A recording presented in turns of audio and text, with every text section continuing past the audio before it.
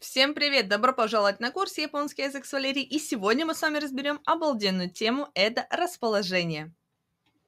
Расположение относительно предмета или места. Как в русском языке, в японском мы часто будем говорить такие фразы, как «на столе», «под кроватью». Так как же нам правильно создать предложение со словами расположения на японском языке? Сейчас мы с вами выучим. Итак, на этой фотографии, на этой картинке, точнее, вы видите что? Вы видите стол, видите котика, да, и черная точка с э, указанием, да, вниз на котика. Итак, где находится наш котик относительно стола? Он находится под столом, правильно. Точка – это стол, то есть относительно стола. Мы с вами здесь будем говорить о том, что котик находится под столом. То есть мы, скажем так, а, точку отсчета, да, начинаем как раз-таки со стола, где у нас она и стоит, эта точечка, да, под столом. Как это у нас будет? Смотрим на пример. Тейбуру но штани неко га имас. Тейбуру – это стол. Шта – это вниз. Ни – это частица, которая всегда будет ставиться вместе с словами расположения, то есть вверх, низ, право, лево и так далее. Некуга и мас. Неко – это котик, и мас – это а, есть имеется быть, глагол, который всегда будет с, гла, а, со словами а, одушевленных вещей каких-то, да, это, например, котик, это рыбка, человек, не знаю, еще что-то, что одушевленное. Помним, да, что частица «но» дает нам принадлежность. И в данном случае у нас получается принадлежность к чему идет? От, к столу, да? То есть относительно стола. В этом случае, когда мы будем говорить относительно стола, он находится внизу или сверху, да, мы должны ставить всегда частицу но, принадлежность обозначающую, потому что в любом случае нам нужно показать принадлежность, как раз-таки вверх, низ, право, лево, там, спереди и так далее. Е. Это у нас как раз-таки будет через частицу но идти. Не частицы нам будут говорить о том, что в этом месте как бы находится э, предмет, либо ну, субъект, либо объект. Давайте еще раз. Точка – это точка, говорящая от какого предмета мы будем говорить. То есть этот предмет стоит на, скажем так, ровно, да, и мы от этого предмета говорим внизу, сверху, выше, там, ниже, справа, слева и так далее. То есть относительно стола. Это у нас черная точка. Стрелочкой показан тот э, персонаж, которого мы с вами, скажем так, говорим, означаем, где он находится, да. Это, опять же говорю, может быть, как, суще... ну, как э, одушевленное лицо, так и неодушевленное, например, предмет какой-то, либо, допустим, котик какой-то, да, без разницы нам здесь. Далее, Точка – это стол, то есть разговор будет идти относительно стола. Чтобы показать относительность, мы ставим частицу «но», которая есть у нас в примере. Давайте его еще раз прочитаем. Тебуру но штани неко гаймас. Да? Тебуру но под столом. Тебуру но штани под столом. Ни нужно для того, чтобы показать как бы в, да, в этом месте. Мы указываем на место, да, под столом. Неко гай и мас. Есть кошка.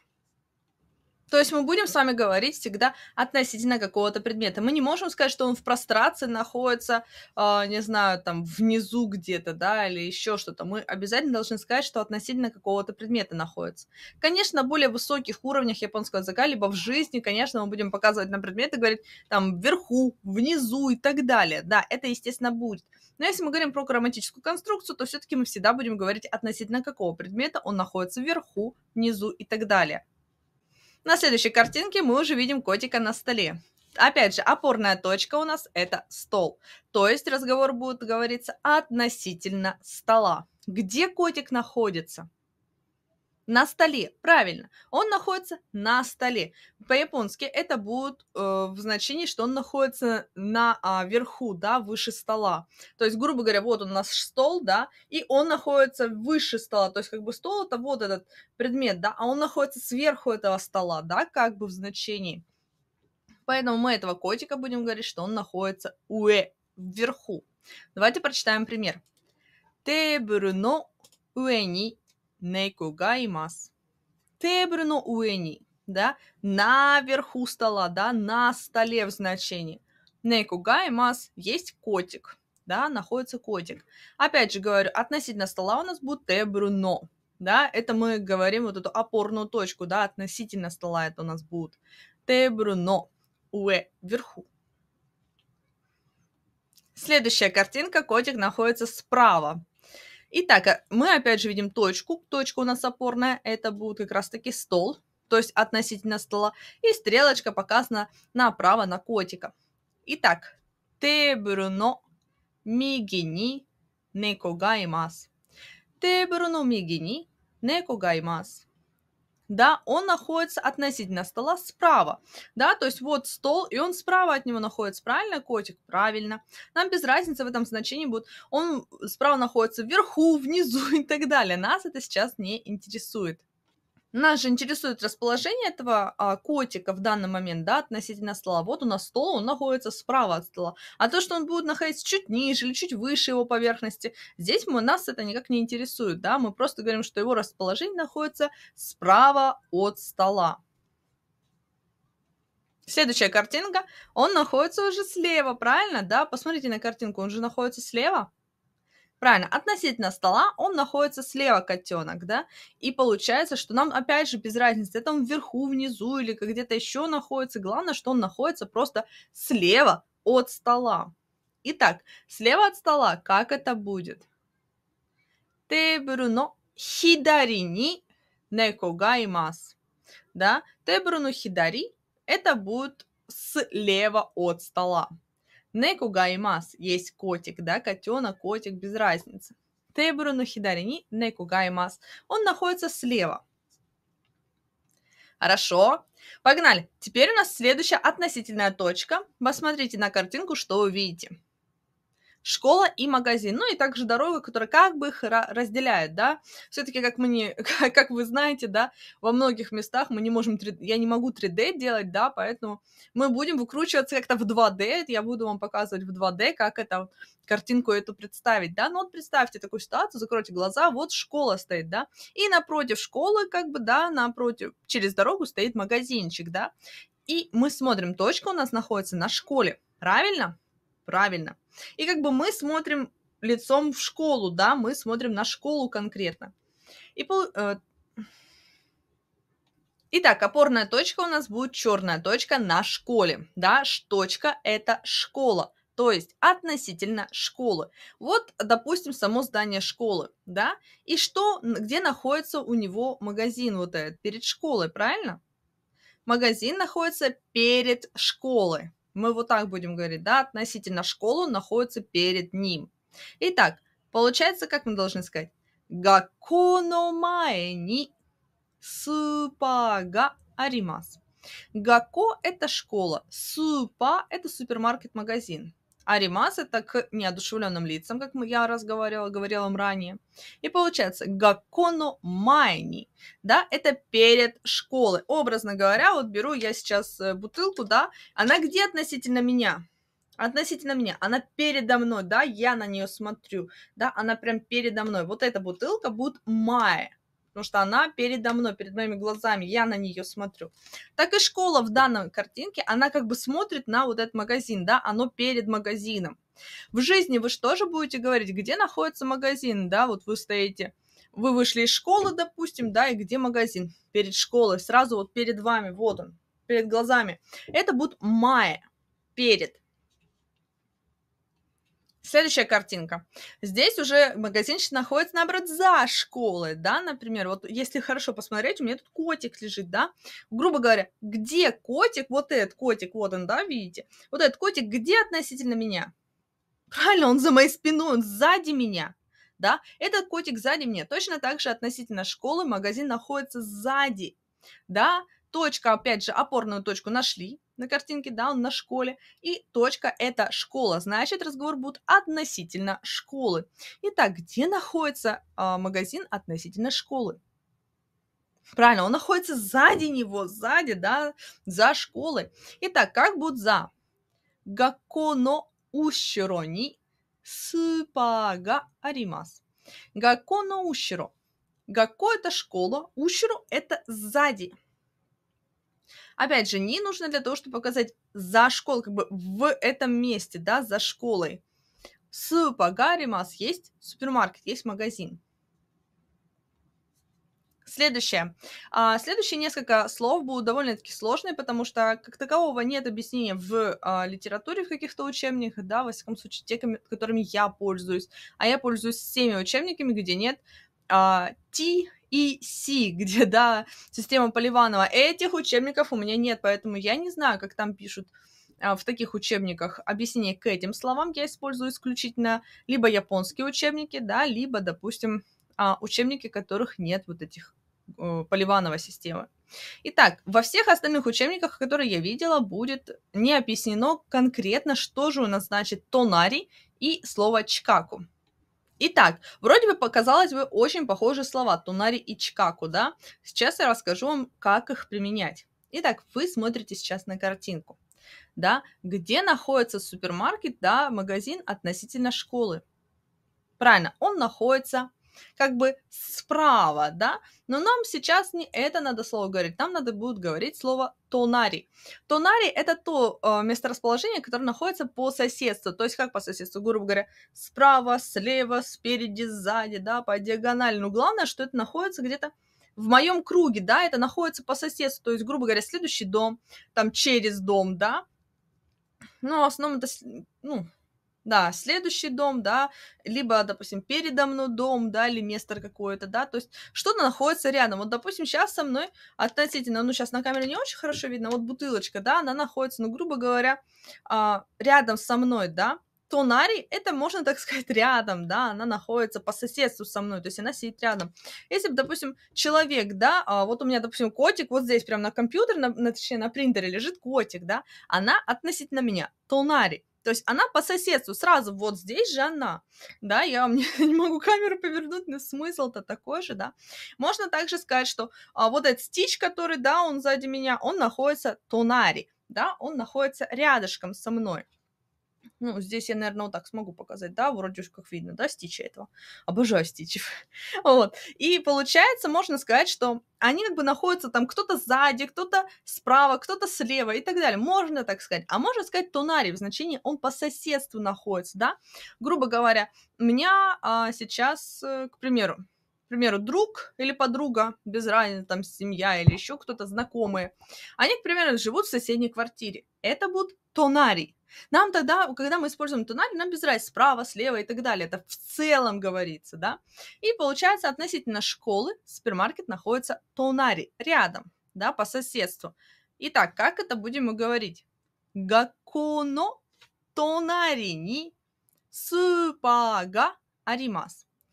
Да, относительно школы супермаркет находится по соседству, да, ну, грубо считай, рядом, да, то есть он прям вот пройти, грубо говоря, выйти и зайти в супермаркет, образно говоря, да, он находится по соседству.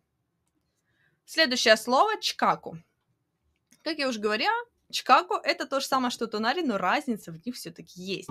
Итак, давайте разберем все-таки разницу между Чикаго и Тонари. Чикаго это то месторасположение, которое находится близко. Образно, да, а, к примеру, в данном, на данной картинке, где находится магазин относительно школы? Ну, недалеко, в 10 минутах ходьбы там или поездки на автомобиль, без разницы. Но главное, что он находится недалеко. Чикаго это как раз-таки недалеко. Например, да, это вот 10 а, минут там пешком, 5 минут пешком и так далее, без разницы, сколько времени. Главное, что для нас, для нашего ощущения, он находится близко да, как раз таки Чикаго это близко, да, недалеко в значении. Далеко это когда, ну, грубо говоря, вы садитесь на транспорт и, и едет там час-два и так далее, там полчаса, да. Хотя для кого-то это может быть и Чикаго будет, да, то есть вы по своим ощущениям смотрите, это Чикаго для вас или Той. Той это далеко когда. И это будет прилагательное уже и прилагательное. А Чикаго все-таки будет говориться о том, что это близко, далеко, близко, допустим, к какому-то объекту или субъекту. Итак, получается, в данном случае здесь э, от школы, грубо говоря, 10 минут пешком и будет магазин. Здорово. Это для меня лично, по моим личным ощущениям, это Чикаго. Это близко 10 минут пройти, да? Допустим, тоже ситуация. А, недалеко от меня есть, к примеру, комбини, да? То есть мне надо спуститься вниз, пройти минут 5, да, там надо будет пройти а, по, по, поезд, да, там, ли, э, грубо говоря, верхнюю часть, да, где они, господи, рельсы эти, да, по низу пройти и а, выйти, скажем так, на другой стороне, и это сразу комбини, да, это будет чкаку, потому что он вот он считает, да, там пройти буквально чуть-чуть надо, и вот он будет. То есть, да, комбини не находится тонари, да, потому что он не близко, он не по соседству с моим домом, да, он не соседничает с моим домом, домом, да, для него надо еще пройти как-то, да, то есть там пройти так, потом прямо, потом налево, направо, точнее, повернуть, да, такого плана комбини находится, поэтому он чкаку. Итак, давайте все-таки с вами прочитаем пример. Гакко но чкаку ни супа аримас. Недалеко от школы есть супермаркет. Надеюсь, вам здесь было понятно. Если да, продолжаем дальше. Следующее. Ну, предположим, я не нашла здесь сумки, хотя очень хотела именно сумку. Но сумка, как таковая, бакку, да, которую я написала, можно сказать, и чемоданчик такой маленький. Тоже японцы вообще не заморачиваются на этот счет, на самом деле. Они говорят, все один, одним словом могут говорить. Это тоже нормик, нормально, ребят, не паримся. Итак, вот мы этот берем чемоданчик, берем, находим черную точку. Ну, может, немножко тяжело, но тем не менее, попробуйте найти эту черную точку. Где она? Она как бы внутри чемодана, да, внутри чемодана. Она не снаружи, она не вверху, не сверху, не снизу, да, она нигде, не рядышком, не близко, да. Она находится внутри, да, то есть какой-то предмет, внутри какого-то предмета, да, внутри сумки. Что у нас находится? Книга, да, мы видим какую-то синенькую, ну, предположим, что это будет книга, да. Она, получается, относительно сумки находится внутри сумки, да, то есть, ну, грубо говоря, мы открываем сумку, и внутри этой сумки лежит книжка, грубо говоря, да. Поэтому Поэтому это значение будет называться нака, внутри, да? Пример. Бакуно накани хонга аримас, да? А, бакуно нака это внутри сумки, да, внутри. Нака это внутри. Ну, образно, я даже вот не знаю, что взять, но это, допустим, да, внутри этой бутылки есть вода, да, она внутри, вот можно ее, грубо говоря, открыть, да, из нее потечет вода уже, да. То есть внутри вот этой пластиковой бутылки находится вода, да, это в нака, внутри, да, нака, это внутри вот этой баночки, это нака. Баккуну накани хонга аримаз в данном случае, в данном примере. Получается, он внутри какой-то сумки находится, книжка. И а, еще два последних. Итак, э, вот это у нас сото. Сото это, ну, грубо говоря, вот я сейчас сижу, и если посмотрю, вот у меня сразу окно, я, грубо говоря, смотрю в окно, и я смотрю то, что находится за окном. Это сото, да, то, что находится за окном да, все, что за окном, допустим, парень за окном вот так разглядывает солнышко, луга, цвета и так далее, да, он находится, грубо говоря, в квартире, да, мы вот точку поставили, я не смогла найти 3D-квартиру, к сожалению, хотя я, правда, искала, вот, получается, что мальчик находится как бы внутри квартиры, да, и он смотрит за окно, то есть он находится по ту сторону окна, и он смотрит за, в окно, да, в окошко он так вот смотрит, да, и видит солнышко, да, солнце по по-японски будет тайо. Тайо, внизу у меня подписано. Тайо – это солнышко. Эти самые а, окошко – это будет мадо. Мадо. И получается, относительно окна, да, в данном случае, кстати, это самое распространенный, а, из, распространенное использование данного слова, да, сото, мадо. Это самое распространенное. Ну, бывает, что разное, допустим, допустим, хотелю но сото, да, за а, пределами отеля, например, да, или, например, а, супа но сото, да, за пределами супермаркета. Хотя так редко реально говорят, в основном сото говорят в значении окна, да, когда мы смотрим в окно. Итак, давайте вот эту самую распространенную и будем с вами сейчас использовать. Мадо но сото ни тайо га аримас да, за окном есть солнце, да, вот он смотрит за окошко и видит солнышко, красота какое, да, то есть он за окно смотрит, да, в, как бы за его пределы окна. Грубо говоря, он закроет, он также может видеть, да, через стекло, а если он подойдет к стене, допустим, как я вот буду смотреть в стену, да, я ничего за стену не увижу, но, во всяком случае, я не имею таких способностей, к сожалению, смотреть сквозь стены, хотя хотелось бы, к сожалению, да, иметь такие, но вот нет их. Ну, мало ли, может быть, кто-то и умеет смотреть сквозь стену, я не знаю. Ребят, научите, если знаете. Вот, и получается, я смотрю на стену, я реально ничего не вижу за пределами стены. Это не может быть сото, потому что я ничего не вижу. А окошко я открываю, да, открываю окошко, например, или там стекло чистое, например, да, ну, предположим, чистое. Вот, и мы за его пределами видим что-то, да, вот это вот то, что мы видим за пределами окошка, это будет сото да, как бы сото еще можно перевести как снаружи, да, снаружи дома, снаружи, допустим, относительно квартиры, относительно дома, да, что-то будет снаружи, это сото. Еще один, а, одна такая вещь, это айда. На самом деле айда используется довольно-таки часто, это будет в значении между, да, вот мы здесь на картинке видим мальчика и девочку, скажите, где находится песик? Он находится между ними, правильно, между мальчиком и девочкой. И точки у нас что от мальчика, что от девочки. Смотрите, имейте в виду. Почему? Потому что слово «айда» мы будем использовать сразу два существительных, да. И у нас милый такой забавный песик находится между мальчиком и девочкой. Как же мы это скажем? Отоко ноко то, онна ноко но, айда ни, инугаймас а, оннаноко и отоконоко – это мальчик-девочка. Отоко – это мальчик, онна – это девочка. И мы должны сказать, что мальчик и девочка, как бы их вместе соединить, и и, да, мальчик и девочка. И между ними, как раз таки это и будут но ай да ни, ни нуга и мас. Да, между мальчиком и между девочкой есть собачка.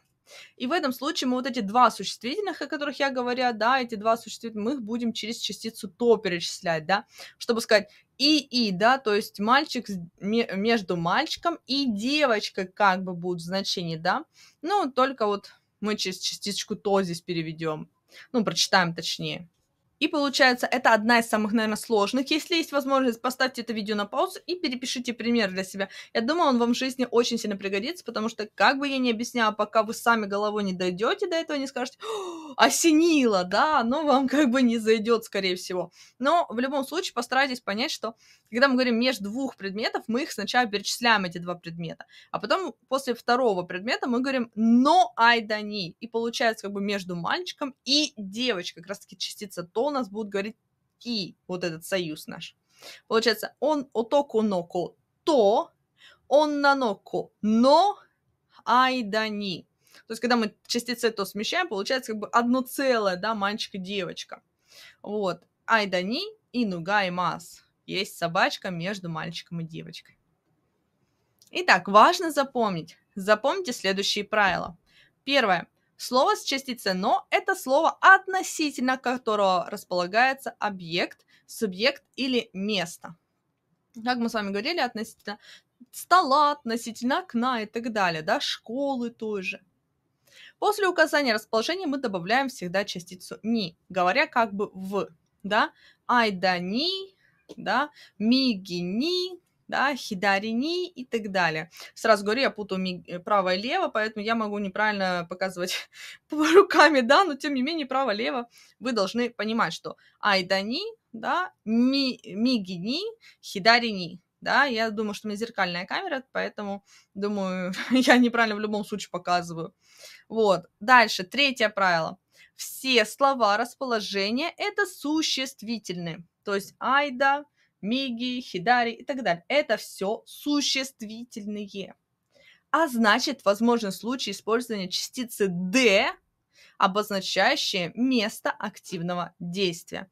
Это крайне редкие случаи. Я думаю, что максимум вы попадете на такое, это когда будете а, этот самый экзамен сдавать, возможно, где-то может попасться D. Это нормально, это все хорошо, это будет означать, вот D-частицы, обозначать место активного действия, там, где вы что-то активно выполняете. Кто забыл частицы, смотрите на мой канал, обязательно подпишитесь, кстати, ребят, чтобы не забыть и колокольчик, я каждую неделю выкладываю что-то очень офигенно полезное. Вот. И частица D а, это означающее место активного действия. Да, у меня есть частица, самая топовая тема. А, посмотрите, вы поймете, что такое место активного действия. Итак, важно. Иногда можно выносить объект, субъект или место в начало предложения. тогда такое слово будет выражаться частицей ва. На самом деле японские слова можно крутить предложение как угодно. Это, это уж что такое. Единственное, что самое главное, это то, что прилагательное или а, глагол будет всегда в конце предложения стоять с точкой. Да, это единственное, что нужно запомнить. А все остальное может вот так вот прыгать по предложению, это тоже нормально. Да, это для того, чтобы язык казался более живым все-таки. Итак, как же это будет? Вот мы смотрим на пример. А, котик находится справа да, я все-таки правильно сказала, справа он находится, да, и правую руку подняла. А, поэтому, получается, котик находится справа. Тогда мы можем сказать, что сначала мы назовем котика некова, да, или некога. И так, и так, и ва частица, и га частица абсолютно нормально, окей, можно использовать. Единственное, что, скорее всего, в этом случае будет га более правильным. Почему? Потому что это у нас глагол имас идет, да, имас это быть, иметься, да, в значении. А как мы помним, аримас и имас всегда идут с одной единственной частицей га. Но а, в разговоре, когда мы просто будем разговаривать с кем-то, можно частицу ва использовать, да. Но все-таки постарайтесь а, для себя куда-то сейчас записать, что еще частица га сюда тоже окей, как полезно. Итак, некова. Мы обращаемся к котику, да, что вот он этот котик. Тебру но мигини имас этот котик находится справа от стола. Точка. То есть мы вот этого котика вытащили из, а, скажем так, конца предложения, в начало вынесли. И так это тоже работает абсолютно. Неко wa тебру но миги ни имас. И таким образом вы можете каждое из этих предложений, ну, за исключением, наверное, айда. Да, наверное, ну, одна такая вот неприятное существительное расположение, да, поэтому его мы можем лучше всего использовать как есть, да. Однако остальные, допустим, там э, сото, право, лево, там между, внутри и так далее, вы все можете делать вынося основную часть основного существительное, да, объект, субъект или место в начало предложения. То есть помните, да, что не только мы можем говорить, что это котик есть справа, да, мы можем говорить, что есть справа, вот как у нас было там магазин справа есть, там школа, полицейский участок, не знаю, что-то еще, дерево какое-то, да, без разницы, оно находится справа тоже можно говорить. То есть здесь ваша фантазия безгранична. И я надеюсь, что эта тема вам понравилась, вам было понятно. Если есть, конечно, вопросы, пишите в комментариях. Я постараюсь на ваши вопросы ответить максимально понятно. Если их будет много, я перезапишу еще одно видео над, на, касательно ваших всех вопросов, относительно всех ваших вопросов. Я отвечу на каждый из вас ваш вопрос в отдельном видео, если их будет много. Поэтому не стесняйтесь, пишите комментарии, ставьте лайки видео, я думаю, оно вам понравилось. И не забудьте подписаться подписаться на канал, ведь в следующей неделе выйдет что-то еще интересное. Предложение можете писать также в комментарии. И, кстати, ребят, хочу сказать, что если вы захотите со мной провести онлайн-встречу, да, то пишите мне комментарии в разделе а, этого самого записи, да, то есть можете мне писать там, можете мне в комментариях писать, проведи, проведи, и я проведу для вас а, онлайн-встречу, где отвечу на все ваши вопросы относительно N5 уровень да, начального уровня. Я вам все расскажу, подскажу и, конечно, отвечу на ваши вопросы. Всем пока, спасибо большое за просмотр. С вами была Валерия, японский язык с Валерией, и до новых встреч. Пока.